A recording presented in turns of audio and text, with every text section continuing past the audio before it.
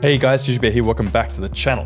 Now, at some point during uh, your time playing Total War games, you may have played a match that you're super happy about, and you got a replay that's banging, and you want to send it to your mate, or a, a YouTuber or something like that. Today I'm going to show you the quickest and easiest way of doing that. Um, and that goes for most Total War titles that you can get. Um, it's all pretty much the same, the, the, the folder hierarchy. Anyway, stay tuned for that.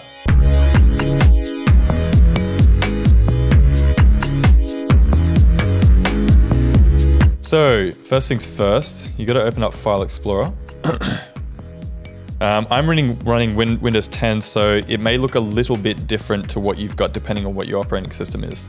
So what we gotta do is we gotta go to our uh, C drive, so our system drive, double click on that guy, we're gonna go users, and select the main uh, user for this PC. So for, in my situation, um, I've got all my games stored to uh, this particular folder called Julian, because that's my name. Um, now that we're in this spot, we are going to be looking for a folder that's hidden from view by Windows just to keep the game files safe. Because uh, if you screw around with them, the game will have many, many, many, many, many problems.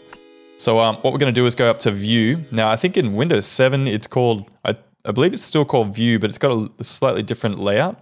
So go View, and we're going to check, uh, check um, hidden items there. Now once that's done, um, you may have noticed that app data has just popped up. Uh, click on that guy and we can move on. Uh, so we get app data, we go roaming. Then down the bottom here, they, they organize it um, in alphabetical order. We're gonna go to Creative Assembly. Now this is where a lot of the settings are stored for your Total War games. Um, if you jump into any one of these folders, you can find the, uh, the settings and that kind of thing. So in my case, I have Warhammer, Rome 2, Shogun 2, Attila. If you pretty much apply these same uh, steps to any, any particular game, you can get uh, any replay that you want. So we're gonna go Warhammer and then replays. So we've got other different things like scripts.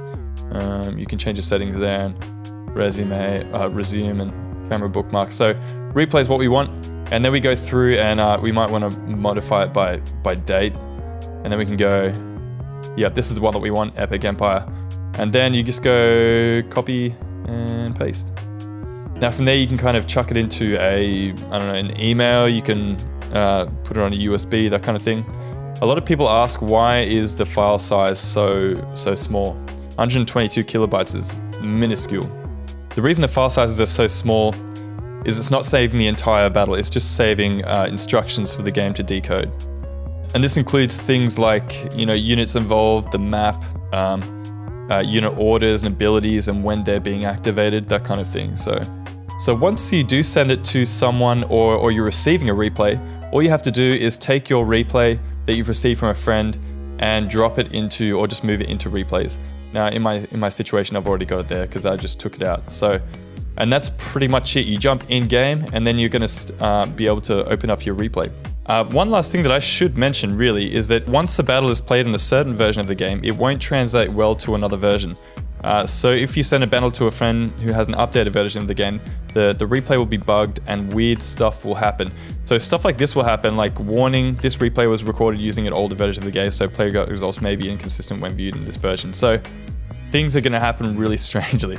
Like units are going to act really weird and yeah, it just won't really work too well. So make sure you got the current version of the game uh, if you are going to be sending a replay to someone.